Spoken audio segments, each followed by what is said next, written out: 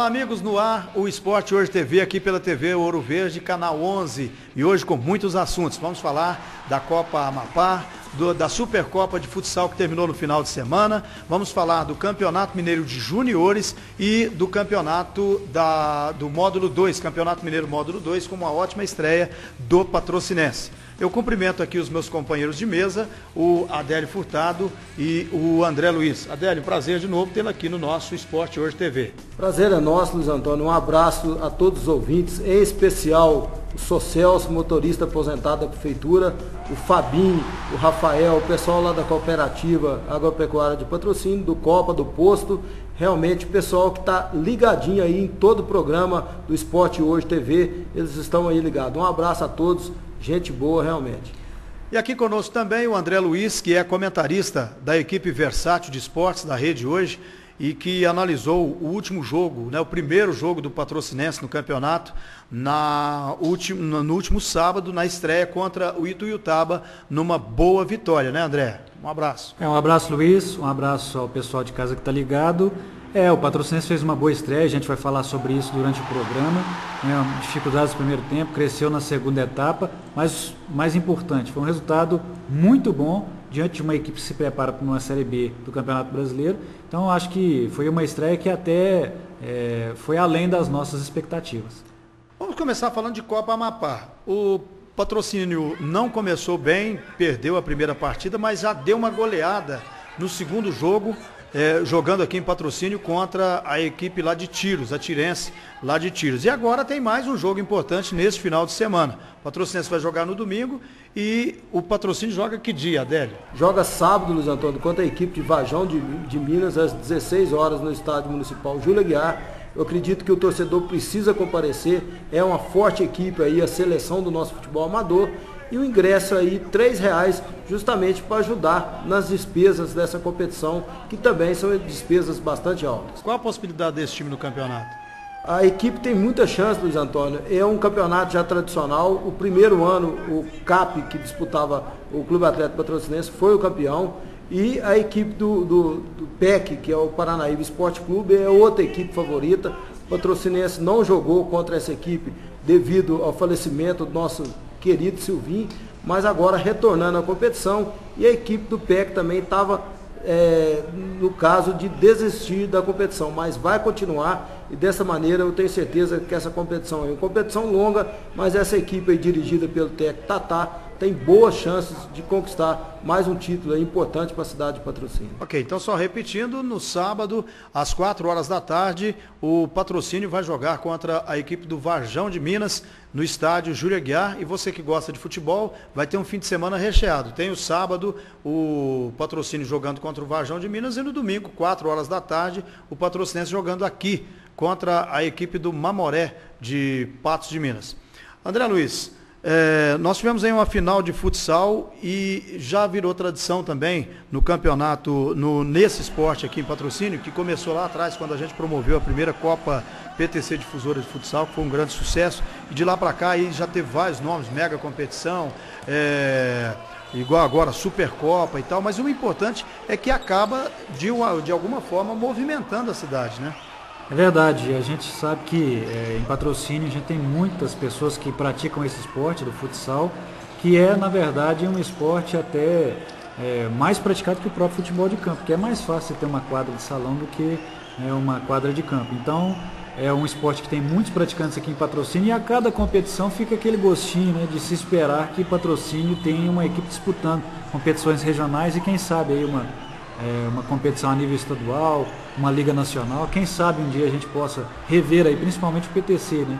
Tem o Catiguá que também faz um trabalho legal, mas que patrocínio tivesse uma equipe aí de volta nessas competições. Tomara que a gente chegue nesse nível aí. Mas sempre que vem uma competição dessa é muito gostoso a gente ver pessoal ali no dia a dia e a rivalidade é muito grande, as disputas são boas e, e, grandes jogos são disputados aqui em patrocínio. O detalhe, Luiz Antônio, é que o Cristiano Romão, que é o coordenador dessa competição, já anunciou que vai retornar também com a primeira e a segunda divisão no futsal. Porque é importante, Porque anos atrás a gente tinha 40 times aí na segunda divisão e mais ou menos os 16 na primeira divisão. Para o ano que vem, os 12 primeiros colocados desse ano vão disputar a primeira divisão e as outras equipes vão ter oportunidade aí em condições de igualdade técnicas também de conseguir o, é, o acesso para a primeira divisão no, no, no, ano seguinte. Então, dessa maneira, é importantíssimo esse campeonato de futsal para a cidade, devido, geral, é, devido à tradição, devido à quantidade de pessoas que que praticam futsal na nossa cidade. Vamos mostrar agora os melhores momentos da final. Olha, o que aconteceu nesse jogo foi o seguinte: primeiro tempo foi um jogo equilibrado. A partida foi boa, foi quente, foi movimentada e havia alguns lances de um, alguns jogadores um pouco mais afoitos, né? Mas na, no, no, geral, o jogo, eu gostei do jogo, achei o jogo movimentado, muito bom. Você mesmo está vendo aí como é que foi essa partida. Agora, é, eu não sei o que aconteceu com o time do, do Supermercado Pioneiro e VIP Calçados, que no segundo tempo perdeu completamente o elan. O que estava fazendo no primeiro tempo ficou completamente diferente. E aí a, a equipe da Regraf, que teve seus méritos também, o Carlinhos é um grande treinador também, é, acabou é, conseguindo fazer um, um segundo tempo é, sem nenhum tipo de erro e aí acabou vencendo o campeonato. O Wesley acabou o pacote né, sendo expulso e por reclamação, mas eu achei exagero depois do, do juiz Tatá expulsar o Wesley do ginásio, né? Porque ali ele estava no meio do público, estava reclamando e tudo bem, mas ele tinha, é, ele estava dirigindo, estava nervoso e acabou se excedendo quando reclamou da marcação de faltas e tudo mais. E todo o time do supermercado pioneiro reclamando muito da arbitragem. Mas é, agora, a expulsão da quadra, tudo bem, mas expulsar do ginásio eu não acho nem necessidade, né, André? Até porque uma competição local, evidente que os nervos estavam aflorados, mas não há necessidade disso. É, acho que não tem realmente essa necessidade. Agora, é, também tem que ver o que, que ele estava falando para o ato, a arbitragem, né? tem tudo isso, né? os ânimos exaltados. Às vezes falou, fez algum tipo de ameaça ali, que às vezes a gente que está tá a uma certa distância nem ouviu, né? Mas realmente o normal não seria isso, era expulsar só da quadra. Agora a expulsão do, do ginásio é uma coisa até que não é tão comum tão assim. usual, né? É. E aí, Delinho, você acha que o título ficou em boas mãos aí com a Regraf, que já é tricampeã, né? É, ficou em boas mãos, Luiz Antônio, porque o time da Regraf, é, ele tinha o Arthur, que é um atleta experiente, e vários atletas mais novos, que é o caso do Emerson, do Nenê, do Clezinho, são jogadores agora que destacaram no futsal em patrocínio. Depois do primeiro tempo 1 a 0 a equipe da, da Regraf aproveitou do momento de descontrole da equipe do supermercado pioneiro e dessa maneira conseguiu fazer o placar, o resultado aí mostrando que realmente a melhor equipe da cidade no momento, até o próximo ano, será com certeza a equipe da Regraf, o grande campeão da cidade de patrocínio no futsal. Bom, e depois do jogo nós registramos lá toda a movimentação, né? Foram entregues aí troféus ao primeiro, segundo, terceiro e quarto colocados, também é, goleiro menos vazado, artilheiro e tudo mais. E nós acompanhamos e agora você vai conferir a reportagem com todos aqueles que fica, foram envolvidos nesta grande competição. Ô Cleito, mais uma competição e a GETAP ajudando também na organização, porque a arbitragem é fundamental. É, Luiz, é um jogo desse dessa noite hoje. É tipo de jogo de os atletas quando se conseguem ganhar na bola quer jogar cima da arbitragem.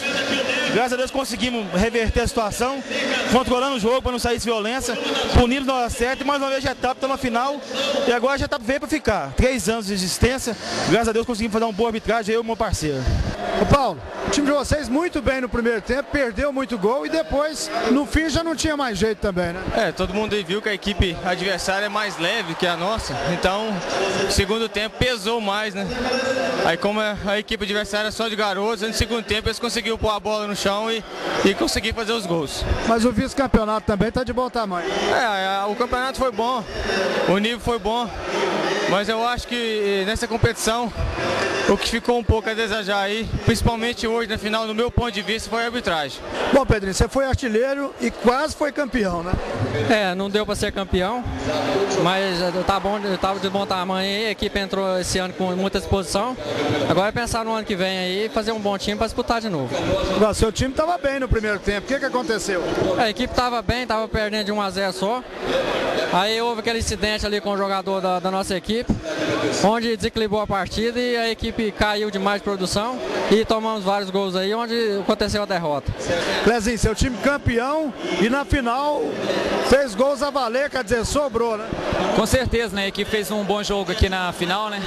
Não tirando os méritos deles, que era uma equipe excelente, pôde mostrar isso no decorrer do campeonato, né? Nossa, nossa equipe está de parabéns. No decorrer do campeonato, custamos classificar, mas depois de ter classificado, né? O time foi bem, com raça, chegou na grande final e consagrou campeão. Bom, Arthur, campeão de novo. É, acho que a equipe trabalhou, graças a Deus deu tudo certo. Acho que a equipe jogou uma grande final, uma grande equipe, valorizou o resultado da gente. Acho que a equipe está de parabéns, lutou até o final. E mas, com certeza mais um título, já é o terceiro. Acho que a equipe é bem organizada pelo Carlinho, pelo Pedrinho aí, que vem trabalhando por fora, conseguindo tudo que a gente tem dentro do campo. E aí, Cito, pegou tudo, hein? Ai, graças a Deus tive a oportunidade de jogar bem na final e junto com a equipe a gente conseguiu a vitória. Uma vitória boa e conseguimos sagrar-nos campeão mais uma vez. Clés, mais uma vez campeão e você já vai conseguindo formar uma tradição no futsal de patrocínio. É, eu, nós temos aí apoiado o esporte em patrocínio e com um pequeno apoio que a editora Regrafo tem dado, nós temos conquistado aí o terceiro título e diga-se de passagem com renovação de atletas. Não é a mesma equipe que ganhou os três títulos.